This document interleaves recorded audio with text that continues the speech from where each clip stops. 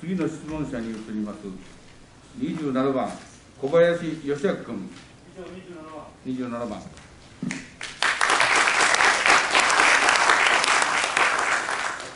答弁者は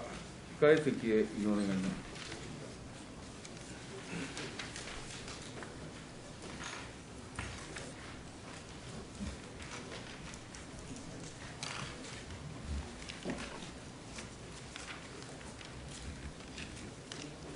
27番。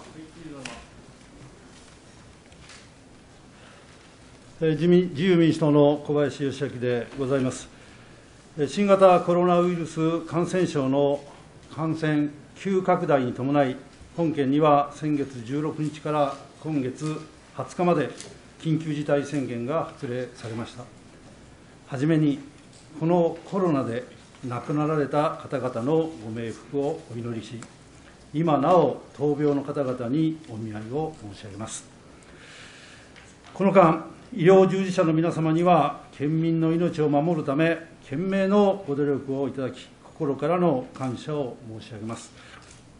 また、事業者の皆様方には、休業や時短営業などのご協力をいただき、県民の皆様にも外出自粛、新しい生活様式の中での活動を心がけていただきました。おかげさまで感染者数は減少し、緊急事態宣言も解除されました。皆様のご協力に対しまして、厚くお礼を申し上げます。引き続き感染力の強い変異株の感染拡大が懸念されております。気を緩めることなく、うつらない、うつさないを合言葉に、より慎重に新しい生活様式を心がけていただきますように、ご理解とご協力のほど重ねてお願いを申し上げます。それでは提案を交えて質問してまいります。まず、先日の我が党の代表質問でも触れました、幕末から明治にかけての陽明学者で、備中松山藩の財政改革で知られる山田報国の NHK 大河ドラマ化について質問します。報国さんは高橋市中井町西方で生まれ、5歳の時新見藩の藩校、死生館の特学で、儒学者の丸川丸川松陰の門を叩き、学び始めます。晩年は66歳の時母親の聖地、新見市大佐、小坂部に移り住み、小坂部塾を開き、多くの師弟を育て、この地で73年間の生涯を閉じています。茨城知事は昨年2月、103万人余の署名とともに NHK に山田報告の大河ドラマ放映を求める要望活動をされています。報告さんの哲学や公徳や生き方は、今日の行政、教育、経済、福祉など、あらゆる分野に通じ影響を与えており、そのことがこの100万人を超える署名に現れたものと推察しています。それから1年余が経過した最近、高橋市、新見市の両市議会には、山田報告の志に学ぶ会の議連が相次ぎ設立されました。代表質問でもありましたが、現在放映中の青天をつけでは、先日、渋沢栄一と茨城市の酒谷老路にかかるシーンが放送されされました。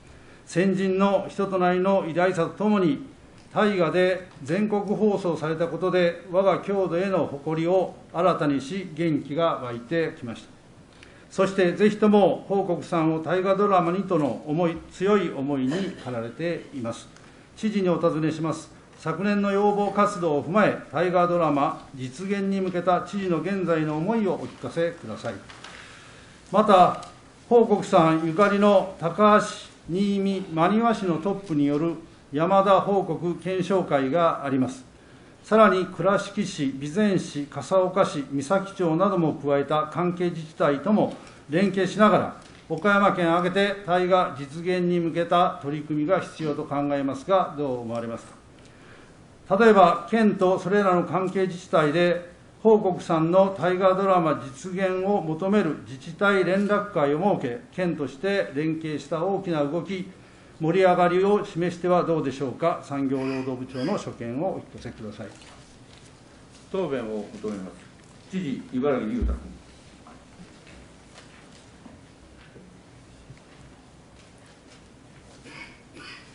自由民主党の小林義明議員の質問にお答えいたします。山田報告の大河ドラマ化についてのご質問であります。実現への思いについてでありますが、昨年、県内にとどまらず、全国からの103万人という多くの署名とともに、山田報告の大河ドラマ化を求める熱意を NHK に伝えたところであります。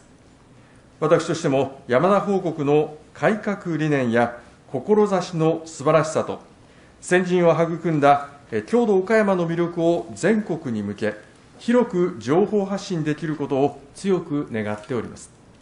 引き続き、関係団体等と連携し、事業を捉えた要望活動を行うなど、大河ドラマ化実現に向け、粘り強く取り組んでまいりたいと存じます。以上でございます。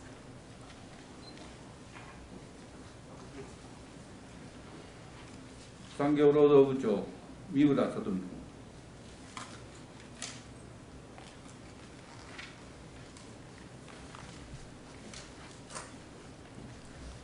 お答えいたします。県を挙げた取り組みについてでありますが、大河ドラマ化実現のためには、要望活動や県内外での知名度向上に加え、官民が一体となった県全体の盛り上がりが大変重要と考えております。このため、県としては中心となって活動されている地元の市町村や関係団体と情報共有を図りながら、大河ドラマ実現に向けた盛り上がりが広がり、県を挙げての機運醸成につながるよう機会を捉えて情報発信にしっかりと取り組んでまいりたいと存じます。以上でございます。小林君。はい、結構。よろしい。はい。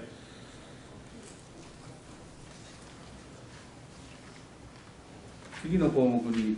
ります。27番。先ほどはご答弁ありがとうございました。ぜひよろしくお願いいたします。次に、先ほど山本議員からも質問がありました、JR 芸備線について質問をさせていただきます。JR 西日本は今月、芸備線のうち、新見市から広島県庄原市の区間について、地域の現状や今後の利用促進等を協議する場を設けるよう、岡山県新見市と関係自治体に申し入れました。芸備線は広島市と新見市をつなぐ全長 159.1km にわたる路線です。そのうちの東半分、約 75km が検討対象となっています。JR は廃線を前提とした申し入れではないとしていますが、地元では通学や通勤、通院等の日常生活に必要な大切な交通手段がなくなってしまうのではないかと不安が広がっています。今後始まる JR との協議にあたっては何よりも地域住民の日々の生活を守っていくという視点を大切にしていただきたいと考えますが芸備線に関するこの度の申し入れについて県はどのように受け止めどのように対応していくお考えなのか知事のご所見をお聞かせください。答弁を求めます。知事、茨城龍太君。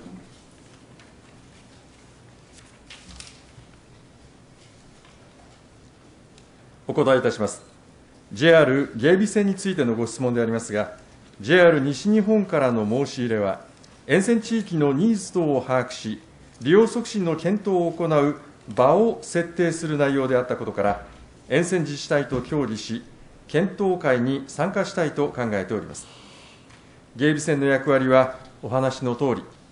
地域住民の通学や通勤、通院など、日常生活に必要な移動手段であると認識しており、協議に際しては、その必要性を丁寧に訴え、地元自治体の意向を尊重しつつ、将来にわたり持続可能な公共交通サービスの提供が図られるよう、沿線自治体等と連携し、しっかりと取り組んでまいりたいと存じます。以上でございます。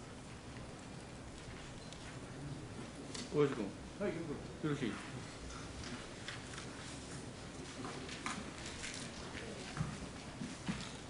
次の項目に移りますので、答弁者は控え席へ移動願います。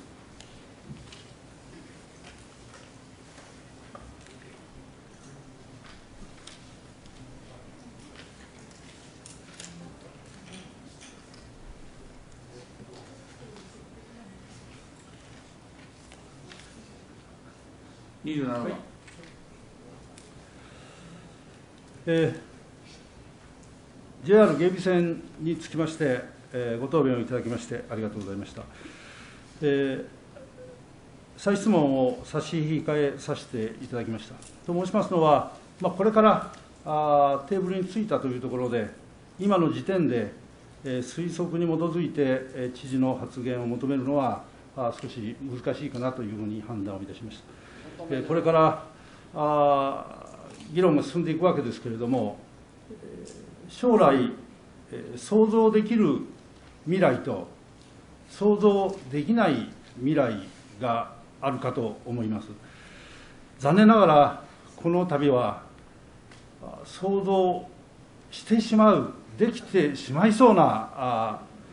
あ感じがいたして、えー仕方がないことでございまして、先ほど山本議員が、こうなった場合はこうだろうという質問がありまして、えーそうならないように願っているものでございます。まあ、地域住民の生活が守られますように、しっかりと県としてもお力添えをいただきたいというふうに思います。さて、次に、えー豚熱対策についてお伺いします。去る3月14日、兵庫県丹波市において、豚熱に感染した野生イノシシが確認されたことを受け、同17日、隣接する岡山県と鳥取県が、豚熱ワクチン接種推奨地域に指定されました。豚熱は人に感染することはありませんが、感染力や致死率が高く、ひとたび豚に感染すると、養豚業者に大打撃を与えることは言うまでもありません。指定地域を受け、県内約4万頭の使用豚に等に対し、ワクチンを接種したと聞いていますが、感染拡大の原因として、豚熱に感染した野生イノシシの関与が挙げられており、野生イノシシからの感染防止対策が求められます。そこで農林水産部長に質問します。ワクチン接種推奨地域に指定以降、県内で野生イノシシの感染事例はありませんか？合わせて鳥取県や猟友会との連携協議、経口ワクチン散布の状況など、野生イノシシ対策の詳細をご答弁ください。また、豚熱は流行を繰り返しており、日々の貿易への備えが重要です。国は野生イノシシの豚舎への侵入を防ぐ防護柵設置費用について、2分の1以内を補助していますが、県内の23農場、愛岸27個への設置状況について、農林水産部長にお伺いします。さらに感染防止の観点から、養豚農家が多い地域でのイノシシの緊急集中捕獲を行う考えはありませんか、合わせてご答弁ください。答弁を求めます。農林水産部長、牧尾俊之君。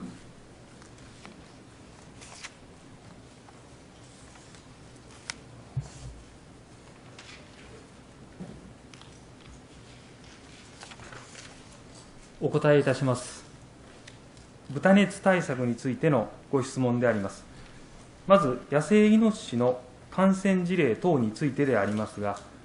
本県がワクチン接種推奨地域に指定されて以降、感染事例は確認されておりません。また、感染防止対策については、猟友会の協力をいただき、捕獲検査の強化と経口ワクチンの散布を計画しております。このうち捕獲検査については、兵庫県と連携して行っておりましたが、これに加え、鳥取県とも検査地域の選定などについて協議しているところであります。また、経口ワクチンについては、国や鳥取県、猟友会等、関係機関と協議を重ね、散布に向けて準備を進めております。次に、防護柵の設置状況等についてでありますが、県内の農場については、国の補助事業を活用するなどして、すべての農場で野生イノシシの侵入を防ぐ防護柵の設置を完了しており、愛玩飼育についても、すべて屋内飼育等により対策がなされております。また、捕獲については、すでに鳥獣害対策として、県内全域で強化しているところでありますが、豚熱の感染防止の観点からも、県内全域の生息密度を下げることが有効であると考えられることから、引き続きこうした取り組みを進めてまいりたいと考えております。以上でございます。小林君。よろしいですか？項目を。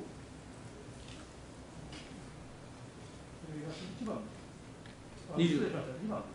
二十七番。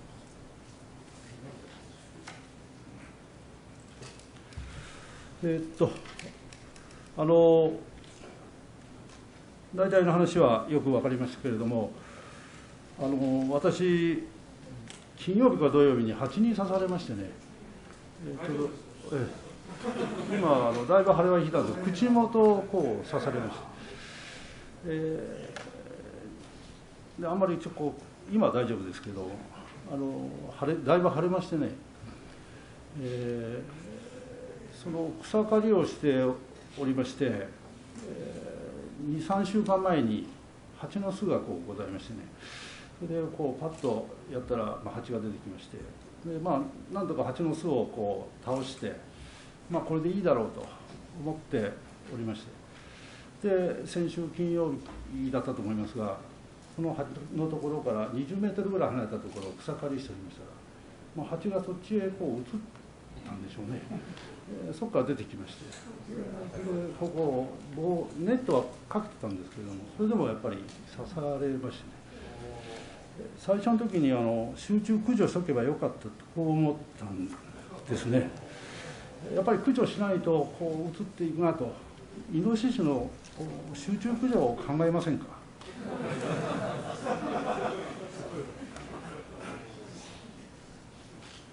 農林水産部長。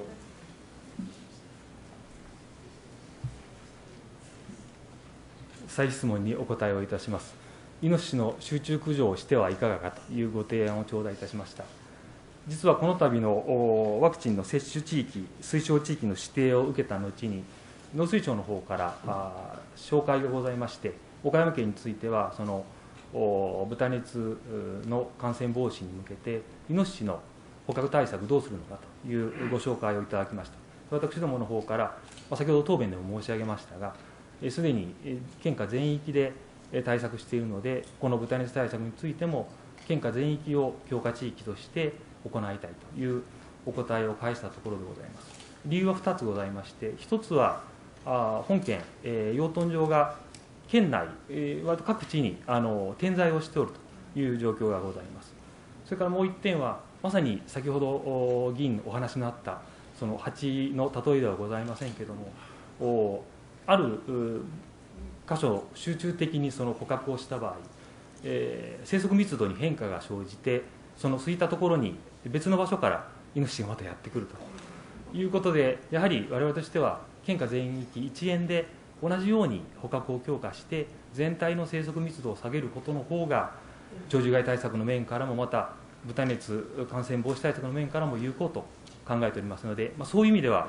えー県下全域で集中的に行ってまいりたいと、このように考えておるところでございます。以上でございます。二十七番。えー前向きなご答弁ありがとうございました。ただ、その集中捕獲っていうのは、今までのお県がそのお計画的にやっている、そのスピードと同じでは少し間に合わないかと思うので、少し前倒しをしてでもですね、あの早めにえーあの、去年も3万頭ぐらい取ってるんですけどね、もっと取っていただきたいと思うんですが、あの県下に何頭ぐらい生息しているっていうふうに、県は推測推察しておりますか？農林水産部長。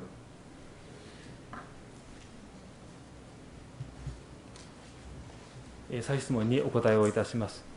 県内にイノシシが何頭程度推測していると考えているかという再質問でございました。先だって、えー、担当の委員会の方にもご報告をさせていただいたことがあるんですけれども、正確な数字を今ちょっと私、手元に資料を持ってきておりませんので、記憶で申し上げますけど、大体、えー、5万頭前後のイノシシが生息するしておるというふうに推測をしております。ただ、いかんせん、イノシシにつきましては、えー、鹿と違いまして、えー、一度に産む子どもの数が非常に多いということもありまして、えー、推推定値にはかなり幅がございますけれども、いずれにいたしましても、その推定生息数、毎年調査をしております。これが来年はさらに下がるように、先ほど議員のご提案も含めまして、しっかりと捕獲対策に力を入れてまいりたいと考えております。以上でございます。小林君。はい。27番。はい。えー、もうこれ以上聞くなという感じがしましたので、えー、要望に変えますけれども、あのー、この岡山で暮らしている、あるいは議会にいる感覚と、私は新見ですけれども、あのイノシシの量がだいぶ違うように思います。えー、私たちのところにおりますと、おまたイノシシが出たか、まだおるか、わあ、猿も30頭ぐらいの群れがばーっと走っていくぞ、こういう、本当にあのイノシシっていうのはこう量が多いなと思いますので、まあ、極力あの豚熱の対策も含めてあの早めに、えー、駆除に取り組んでいただきますように要望しておきます。よろしくお願いします。次の項目に移ります。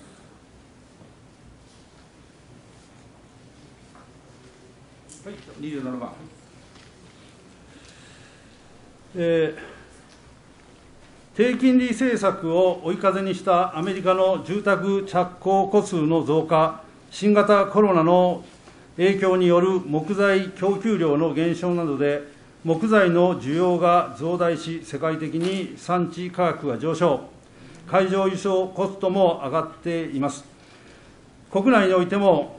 今年春先から輸入木材が高騰し、全国的に不足。国産材も価格が上昇しており、ウッドショックと呼ばれるまさに衝撃が走っています。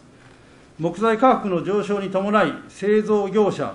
修正材メーカーやプレカット加工の業界業界団体、住宅メーカー、建設業者などから材料不足、価格高騰、後期、納期の遅れ、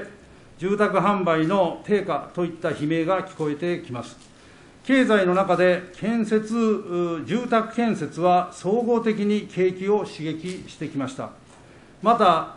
材料不足や高騰による災害復旧工事への影響も懸念され、コロナ禍の新しい心配事であります。一方、輸入材に押されてきた国産材は、財価の上昇で林業関係団体を喜ばせているのも事実であります。国産材の供給体制を拡大、構築する、そのための作業道や高性能機械の導入促進、人材の確保、要請などとともに、林業の経済性に関心が集まっている今だからこそ、次世代に向けた植林保育事業にも力を注ぎたい、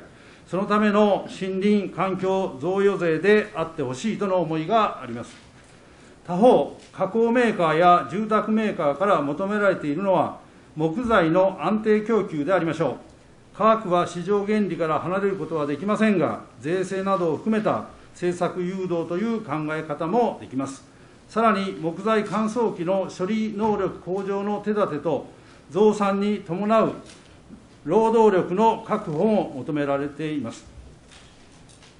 農林水産部長に質問します。山本林業関係者、加工メーカー、住宅メーカーごとに切り離して考えると、一見利害が反しているかに見えますが、見えます。しかし、ここは林業が成長産業となるチャンスとも思えてきますが、県は今のウッドショックの影響をどのように分析していますか？本件の現状を踏まえ、今後の見通しと県としての対策も併せて答弁ください。答弁を求めます。農林水産部長、牧尾俊之君。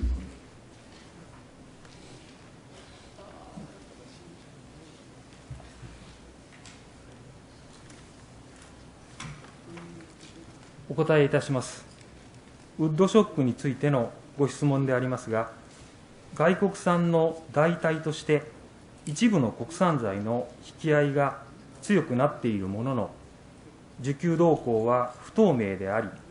見極めが必要であると考えております。今回、外国産の供給リスクが顕在化したことを踏まえ、中長期的には、県産材の需要と供給の拡大を目指すことが重要であり、県産材が消費者に届くまでのサプライチェーン構築の支援等を通じて、販路の拡大に努めるとともに、担い手の確保・育成や設備投資への支援などに取り組んでまいりたいと存じます。以上でございます。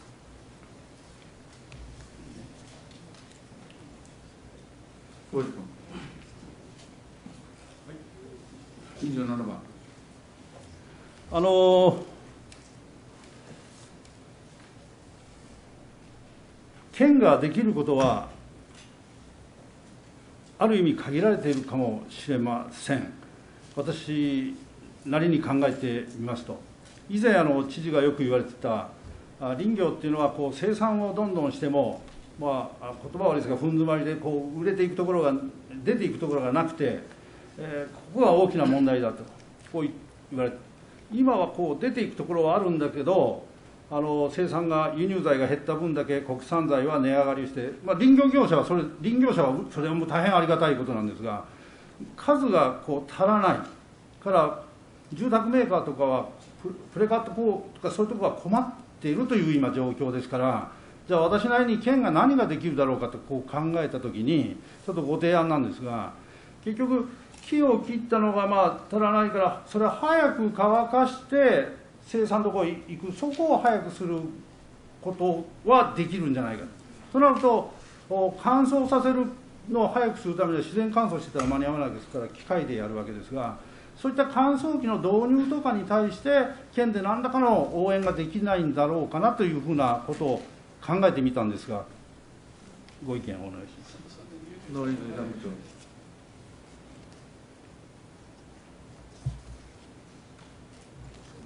再質問にお答えをいたします。木材の乾燥段階の設備の整備について、県で応援ができるのではないかというご質問でございます。議員ご指摘のとおり、え、私どももこれまでも、ま、これは国交事業なども活用いたしまして、え、木材の乾燥設備、まあ、それに限らず、例えば高性能林業機械なども導入の支援に、取り組んでまいりました、現在もその制度はございます。ただ今回のまさに今のこの状況を踏まえたときに、その制度を活用するかどうかという判断でございますけれども、議員もご存知のとおり、非常に高価な、また大きな機械でございます。一度その乾燥機を、まあ、ある工場がさらに増設をして入れた、で今の状況がこれから数年間続けば、もちろんそれが活用できるわけでございますけれども、入れたその後に、このウッドショックが実は一時的なものであったということで、元の輸入量に戻ったときに、たちまちその乾燥剤が、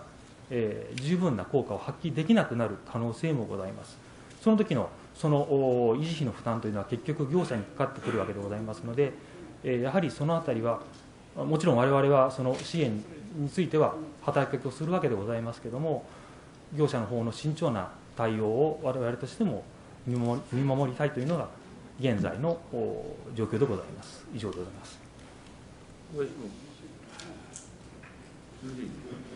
しい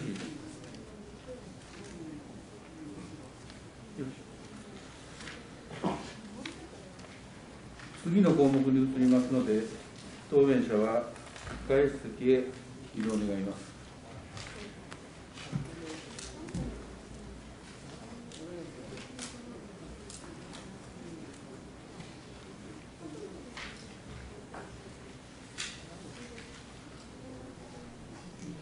27番。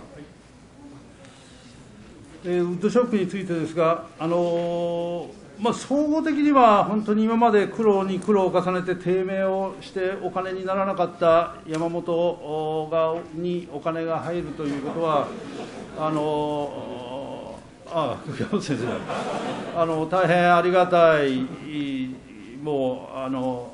大先輩に言わせると、神風が吹いたようなもんだっていう、こういうことでございますので、ありがたい。しかし、木材産業全体をこうトータルで考えたときには、うまくバランスが取れないと、いずれこう、歪んだ形になってしまうということからの質問でございましたので、まあ、県として、えーこういうことをやったらいいだろうということは積極的に進めていただきたいとお願いいたします。もう、丸く丸くなっております。それでは次の 質問に譲らせていただきます。えー数年前からあ全国各地の自治体で公務員による副業が広がりを見せています。地方公務員の副業については、地方公務員法により、任命権者の許可が必要ですが、総務省の2018年の調査によると、全国の地方公務員の兼業許可件数は4万1669件で、このうち1万1506件が伝統行事、防災・防犯活動、スポーツ、文化・芸術活動、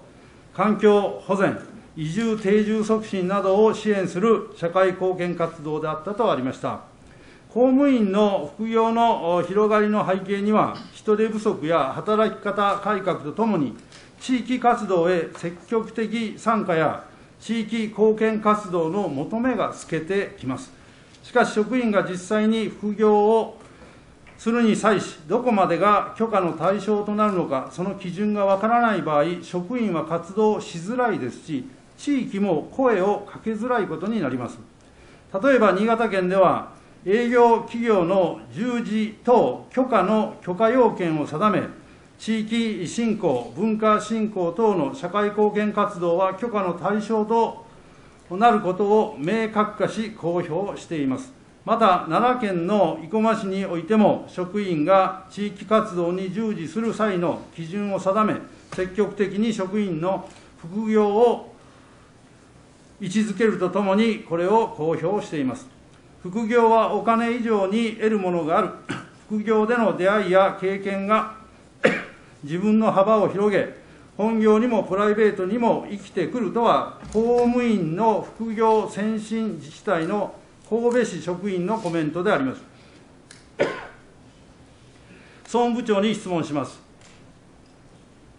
少子高齢化で地域を支える力が弱くなってきている今日、本件でも職員の副業を許可するにあたり、具体的な基準はありますか、ある場合、これを公表してはどうでしょう、答弁ください。また、地域の貢献、社会貢献活動の担い手としては、市町村の公務員の存在も欠かせません。県が旗振り役となり、県内市町村においても、許可基準を設定し、公表されるよう働きかけてはどうでしょうか、県民生活部長の答弁を求めます。答弁を求めます。総務部長、杉江博則君。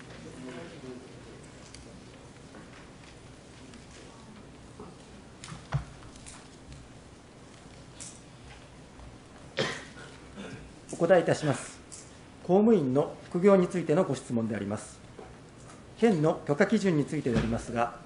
地方公務員に適用される地方公務員法の規定により、職員の営利企業等への従事に関しては制限が設けられており、県人事委員会が定めた基準に基づき、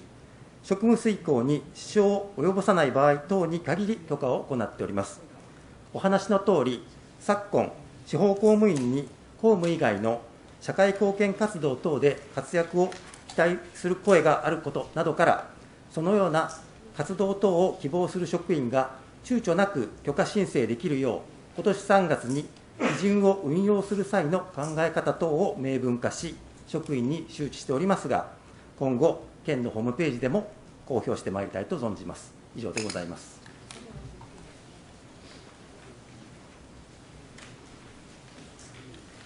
県民生活部長、那須信之君。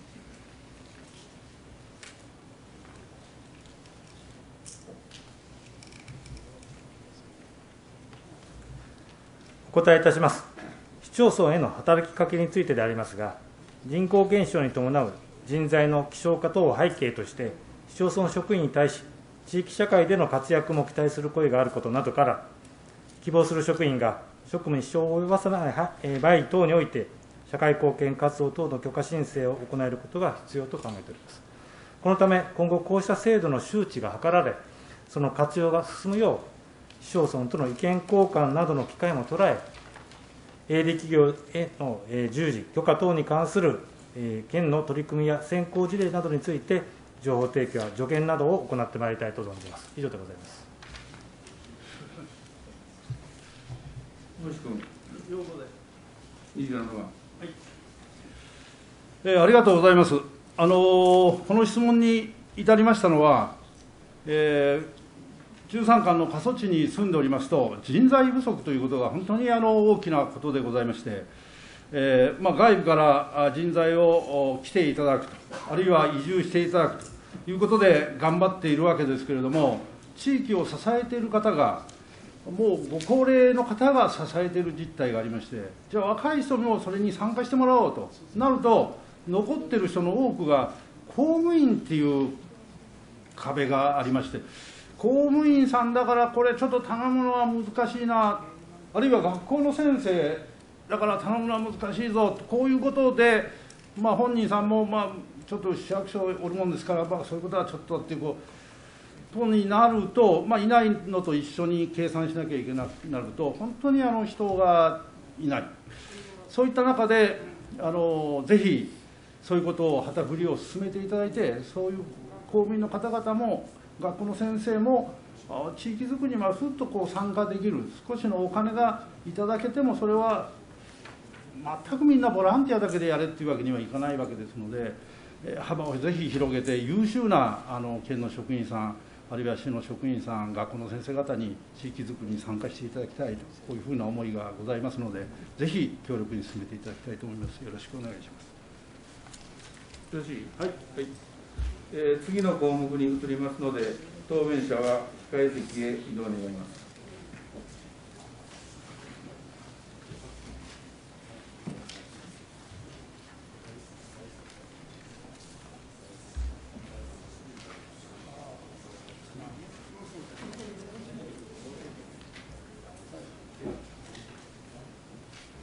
27番。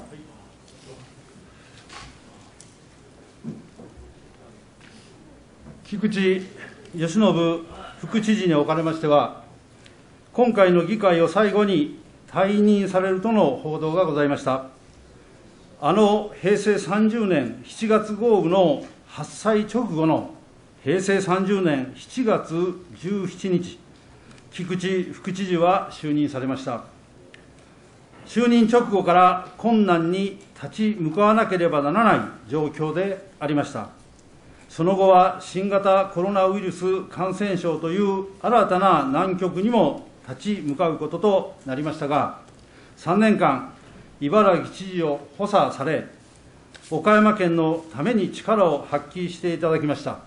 そのご尽力に心から感謝をいたします。3年間、岡山県で過ごされた感想とともに、本県がさらに発展していくためのメッセージをいただきたいと思います。よろしくお願いします。答弁を求めます。副知事、菊池義信君。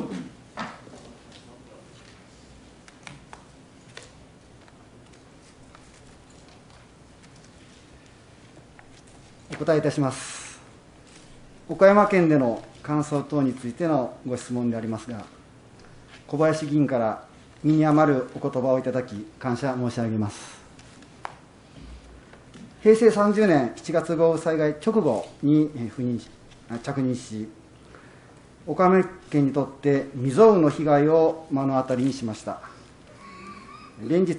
災害対策本部会議を開催し、全庁を挙げて被災者の支援と復旧・復興に取り組みました。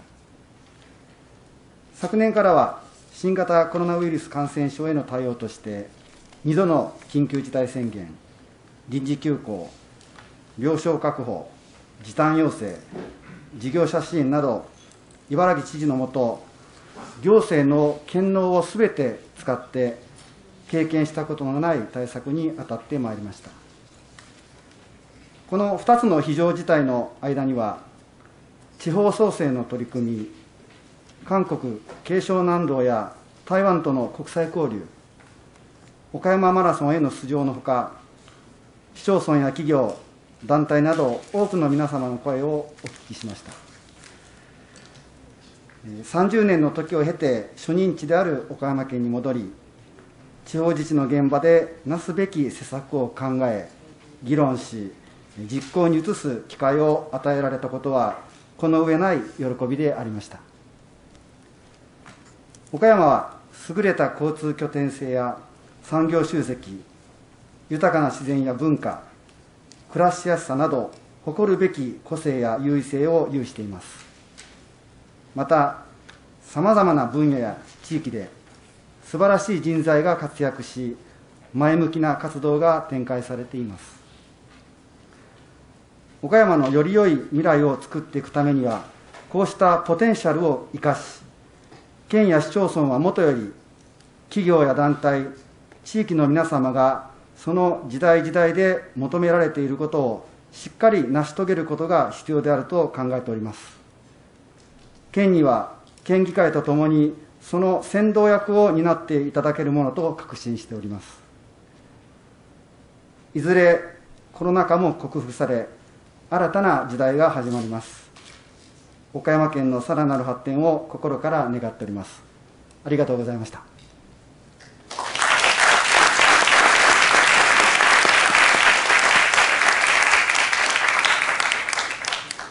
27番。えー福知副知事の今後ますますのご活躍をご記念申し上げまして、私の質問を終わらせていただきます。ありがとうございました。